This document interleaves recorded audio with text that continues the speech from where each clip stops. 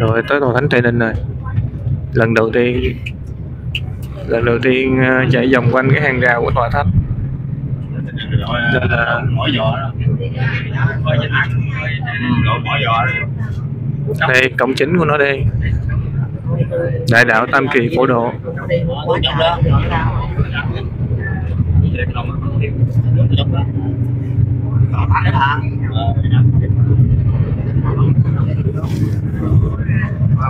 chắc là tài xế sẽ quẹo ngược lại Hãy subscribe cho kênh Ghiền Mì Gõ Để không bỏ lỡ những video hấp dẫn đảo của Trung tâm này cũng cũng cái đảo của đại Để đi trong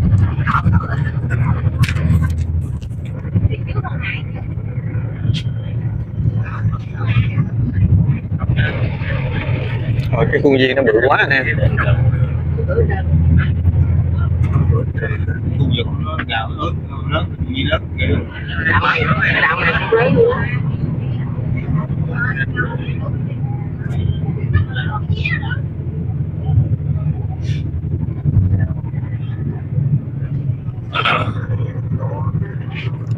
làm như nó có hai cái dòng rào dòng rào ở trong nữa.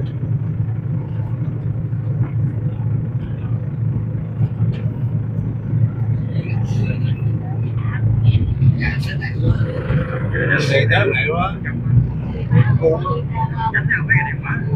vậy là mở cổng này người ta cho vô cửa chứ không phải là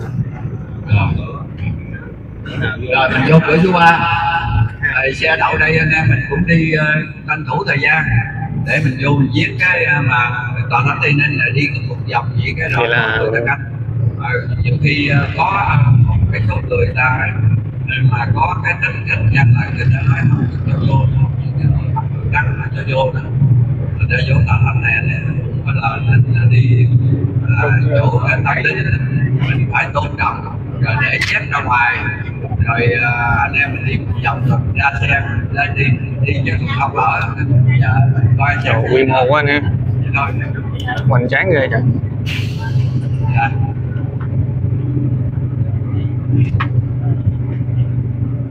Ngồi mình xem mà.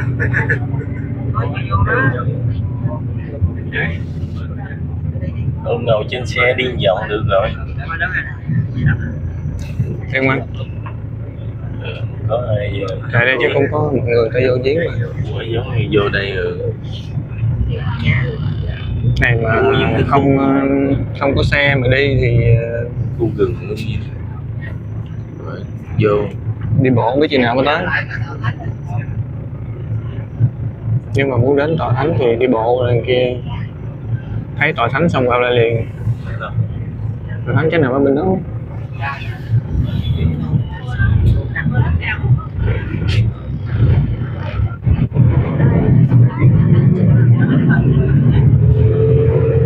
Nó có khuôn viên ra ở ngoài rồi bên trong có quần thể kiến trúc nhiều, nhiều kiến trúc lắm.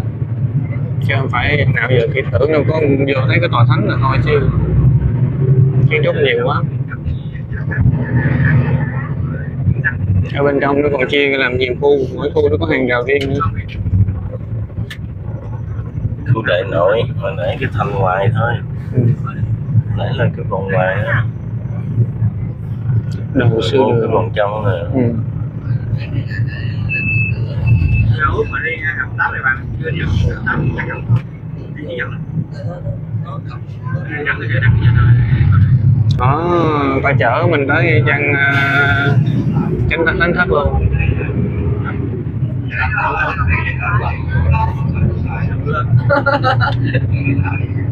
Thấy trước kìa. Này điện này điện Phật mẫu quá.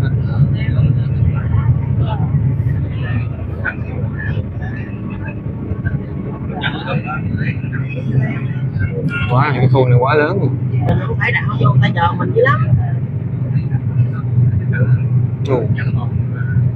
đẹp thiên ngài quá trời quá đất ta. Nào giờ tưởng nhỏ nhỏ nó bự dữ gì?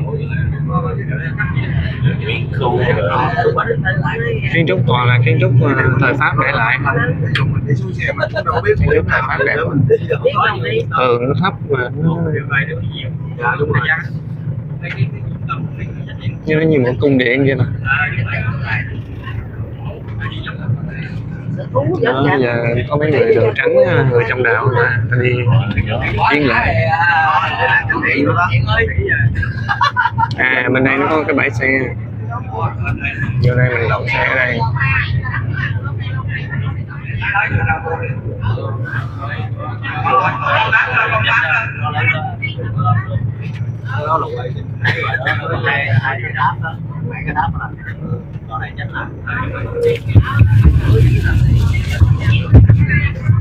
đậu xe bên nhà xe kế bên ờ, thác lâu đài nếu mình muốn đi giếng mình đi xa hơi cũng dễ anh em. Phúc nếu mà anh em mình muốn đi giếng á mình đi xa hơi cũng dễ.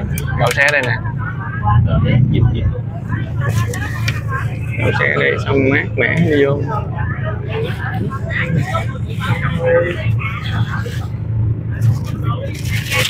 Rồi được không? Anh em còn hai trái bắp mà không biết ăn được không nữa nè Chắc được mà Đó, đó chưa? Giờ em lột cái vỏ ra, chút nữa lột vỏ Đây đây sạc luôn anh Ừ. Rồi bây giờ cùng với Đem thêm trên nước. con cô bác đến uh, đi xuống dưới giếng Ây da. Ây da. Xin lỗi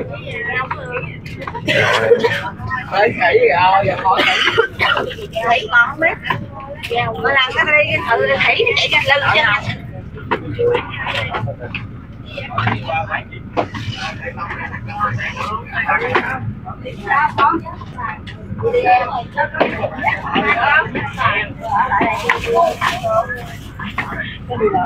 đi rồi mới đi hôm gửi đây nè bị hai lần quá tam ba bận mới hai lần. Đi rồi hả?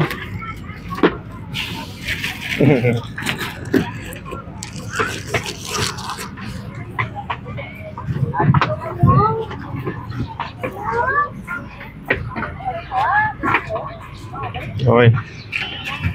Lần đầu tiên đặt lên đất đặt chân lên đất cao đài.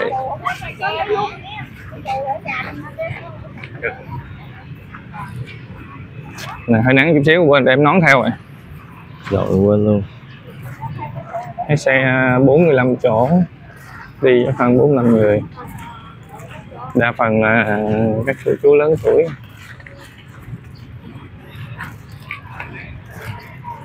cái bãi xe nó cũng rất là rộng bãi xe này đậu được mấy chục chiếc rất nhỏ cả trăm chiếc nếu mà xe nhỏ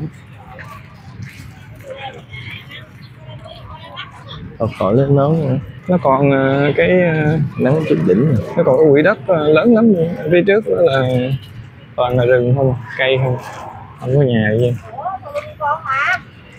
nó có một cái hàng Hoàng hả? Hoàng đi lên thấy gì rồi? Hoàng đi lên thấy gì rồi? Hàng rào to bao quanh rồi sau đó thì nó có những cái khu Đi lên xe rồi. nó chia ra làm Nó lên nó lên xe lại rồi. Trời thằng cô, trời thằng này Hồi nãy con chị cho con chị đó Nó nói đi ba lần rồi. Kìa nó nói cho ông chạy ra kìa trong cái hàng rào to nó có nhiều cái hàng rào nhỏ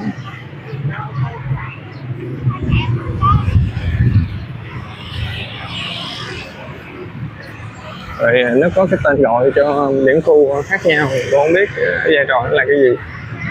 Người trong đạo người ta, người ta biết còn mình không biết. Đây lần đầu tiên mà à,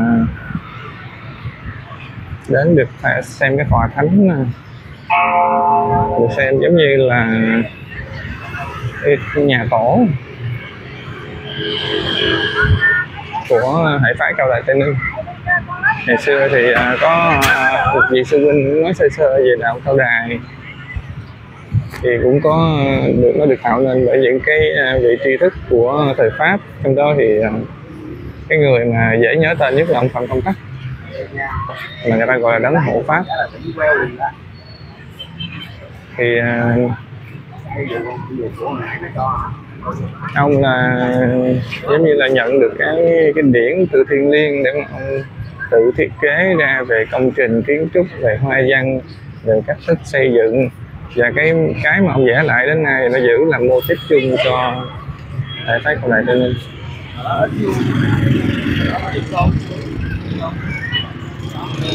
thì ở đây có cái con có cái con con con gì không biết nha. Và hình dáng đi rất là giống con ngựa. Con ngựa nhưng mà đầu rồng mà làm đẹp quá. Cái cái cái, cái tượng con đó làm đẹp quá anh phúc. Ừ cái tượng cái con nó làm đẹp quá ha. Đây, tòa thánh này, tòa thánh to nhất trong cái à, đạo cầu đài phái tây ninh. Thì chỉ có cái tòa thánh ở tây ninh thì mới được phép làm với kích thước to vậy. Còn các cái à, cái cái tòa thánh mà cùng hệ phái này mà ở các địa phương thì không được quyền làm lớn. Chỉ có cái tòa thánh này là được to nhất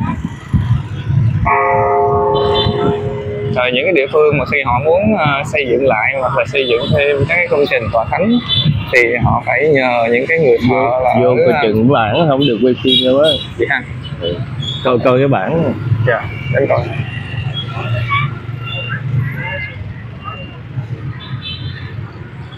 là phải nhờ thợ ở khu này này người ta về người ta làm cái cái đội ngũ thợ của của tây ninh có chó đúng rồi. Rồi cái hoa văn hoành tráng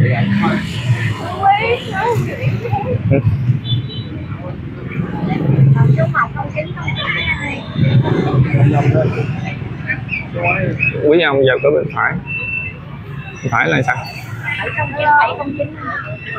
Này, ở đây không biết người ta cho phép quay phim. Thôi, cái hình rồng màu hình rồng đẹp quá đẹp cái màu nó đặc biệt ghê. Nếu như màu à, màu nâu nâu chậm chạm rồi cái tượng này cũng vậy nè. Cái chất màu đẹp quá đẹp. Ồ. cái màu của những cái à, bức tượng này như là giống như nó giữ nó giữ à, y cổ xưa thì sao không? còn cái màu ở bên ngoài của nội thất ngoại thất của thánh thất thì người ta có sơn lại. Nhưng mà còn cái bức tượng này thì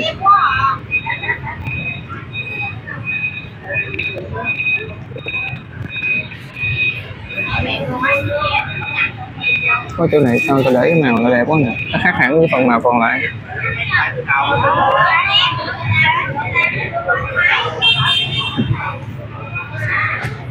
Ồ, nó tự đẹp quá nè. Chắc họ hình rất là đẹp chắc chất nó cũng đẹp nữa. Ở đây ta có quy định đàng hoàng nha. Quý bà đi cửa bên trái, quý ông phải đi cửa bên phải này nó hơi ngược với mình chút xíu mà mình nam tả nữ hữu. Còn này là nữ tả nam thử.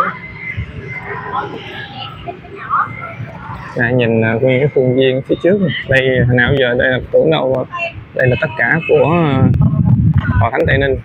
Nhưng thật ra trên hình chụp thì chỉ chụp được có phần này thôi. Tập chụp từ cái tháp ngoài đó. Cái tháp đó kêu bằng cái tháp gì đó, không nhớ. Tháp uh, rồi dài cho tới vô dân tay thánh thất.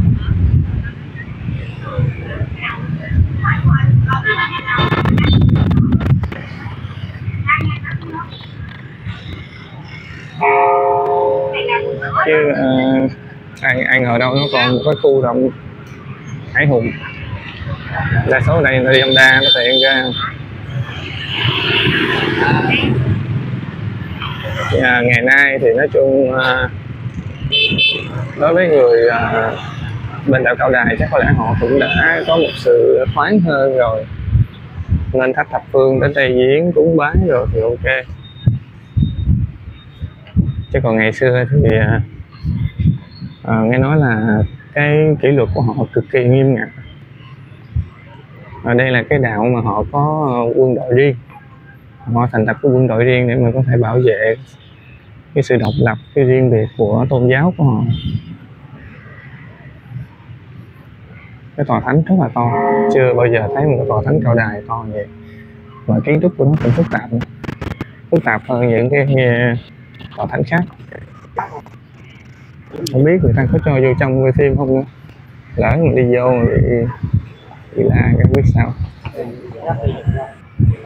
Biết anh túc năm tỷ bây giờ liều mạng quay đi nào ta lại.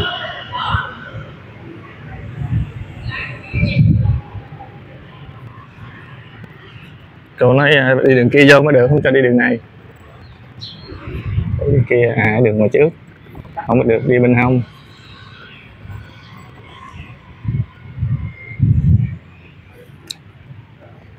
Nó cái thiên nhãn đó. Đặt áo đài nó thờ thiên nhãn mất bên trái phải có một lý do nào đó thì người ta mới ờ, mới ờ, chọn con mắt bên trái. Tại vì hai con mà Tại sao nhất thiết phải là con bên trái.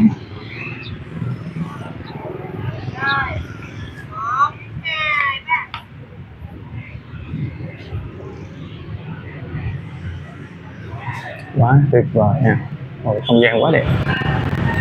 Nhìn ra hoa văn ấn tượng ánh sáng trang hòa. À. ai mà chưa đi ờ, thánh thất cao đài thì sẽ sẽ quay cái này để cho mọi người xem. Ở đây có ba vị nè. Ba vị thì ờ, xin lỗi là hai vị hai bên thì không biết. Có vị chính giữa là biết ờ, ngày hậu pháp phạm công tắc còn hai vị hai bên thì không nhớ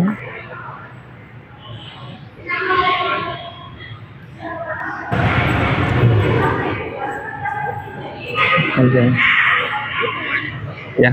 Đi ngoài nè. Ngoài nó không đi đường này được. Dạ. Ồ đi bên đây ha dạ. À mình không được đi chính giữa. Mình chỉ được đi hai bên thôi. À, cái nó có hoa văn ở trên đó đẹp quá kìa. Rồi mẹ tôi đi ra luôn đi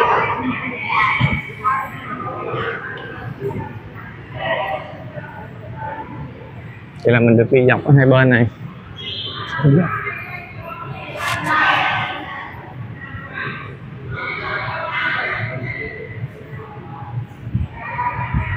À, cái cửa sổ này rất là độc đáo. Cửa sổ này nhìn vô màn hình thấy nhỏ thật ra nó to lắm về ngang cả 3 mét về cao cả 5 mét. À, công trình kiến trúc này rất là đồ sộ mỗi cái à, hoa văn mỗi cái tư thế của công trình, mỗi cái à, góc của công trình nó có một cái vai trò riêng, nó có ý nghĩa riêng. Thì nó có độ thấp, độ cao, vân vân. Mà mình thì không có trong đạo này mình không biết.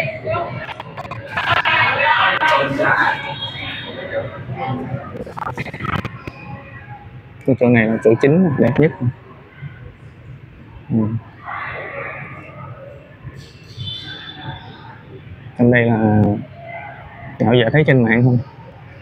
Vô đây mới thấy.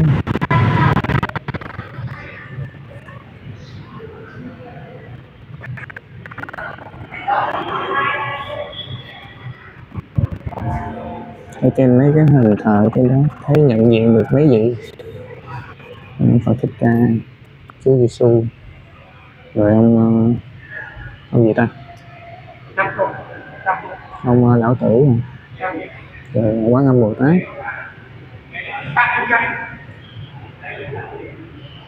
Ủa, không được vô đó hả chú? Hai cấp dưới không đi được trên dạ đi bậc dưới được hay chú? Dạ. Ui, cái này là cái thiên nhãn này. Nào giờ chỉ thấy trên mạng thôi. Cái chỗ này là cái chỗ quan trọng nhất của thánh thất này bởi vì nó có những cái nó, nó hữu duyên là đi được à. Nào giờ cũng không nghĩ là sẽ đi ờ, tới thánh thất cao đài vô tới đây coi. Tại vì nghe nói là đạo của người ta rất là khó nhưng không ngờ mình vô đây mình quay phim được luôn. Nhưng mà ở trên mấy Rồi chỗ này là chỗ ờ, này là chỗ linh thiêng lắm đấy linh thiêng đối với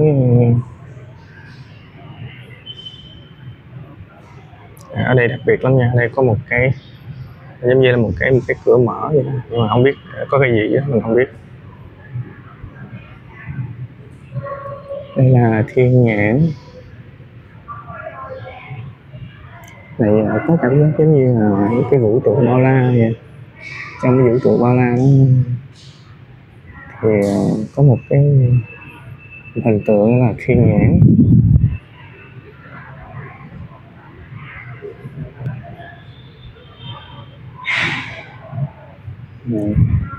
Các cái bài gì rất là trang nghiêm những người à, những người mà bình thường là không có được quyền bước lên đây.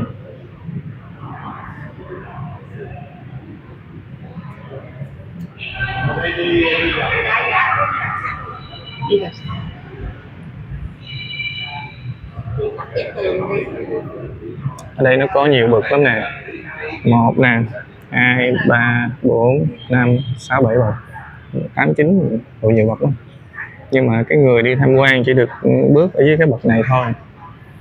Chỉ được ở cái bậc thấp nhất thôi, không có được, không có được bước lên cái bậc thứ hai này. Rồi à, người đi cũng vậy luôn. Người đi vô tham quan là chỉ được quyền là đi ở dưới này thôi đi hai bên viện hai bên bìa này. Chứ không có được quyền đi ờ, đi vô trong kia, vô ngay trong cái chỗ tránh giữa. Thì cái chỗ đó là cái chỗ thiêng liêng của họ chỉ người trong đạo không có được đi. Dạ.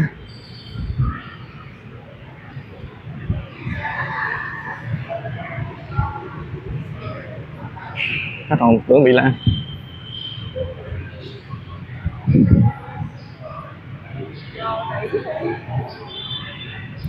Đó. Chỉ người trong đạo là được quyền đứng ở chính giữa. Còn cái người không phải đạo thì đi hai bên hai bên thôi. À, hôm nay thì à, chỉ quay rồi chiêm ngưỡng sơ sơ thôi. Hẹn dịp sau quay lại thì có dịp thì ok hơn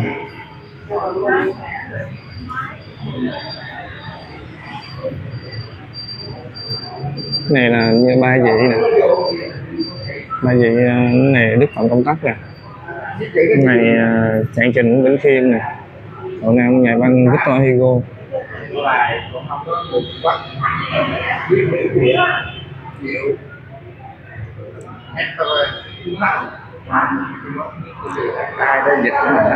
Ba chữ cuối là ái công bình. Ái, ái công bình còn cái chữ trên nó không biết chữ gì nữa. Diệu gì đó, diệu gì đó đâu tiếng. Không, này tiếng pháp Pháp. Ừ, ừ, tiếng pháp đó. Ừ. Cái này là thiên gì? thiên hạ thiên thượng Đâu? đấy cái, cái gì bốn chữ đó chữ gì cô à cái bản tiếng việt nè bản tiếng việt nè à vậy là lộn rồi, không phải là đức phận con tắc mà là cụ tôn vật tiên, Victor Hugo, với là thầy trường Nguyễn Bính Khiêm thôi, đi ra.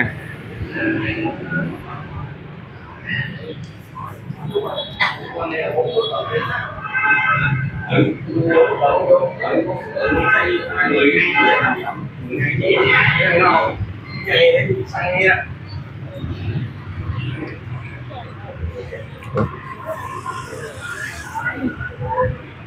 nãy quên ờ.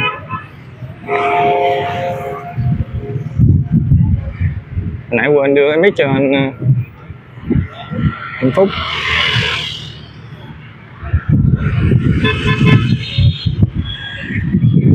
Rồi hạnh anh Phúc bây giờ anh đi một nơi mình một nơi rồi thu âm vô anh nói chuyện của ảnh, mình nói chuyện của mình hỏi biết cái clip nó làm sao.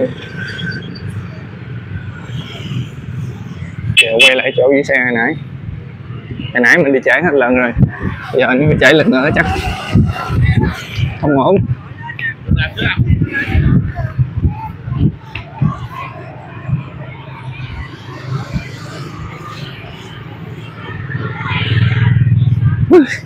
Chạy vậy?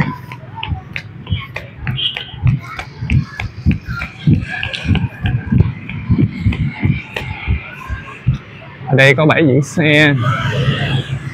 Rất là ok. Đường xá thì nó rộng.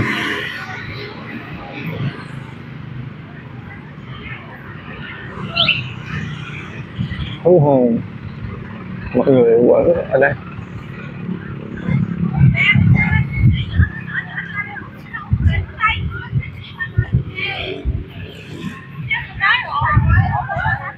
Vậy là chút nữa mọi người sẽ nghe cái tiếng sụp soạt và tiếng của sư huynh tôi ngồi cặp mắt.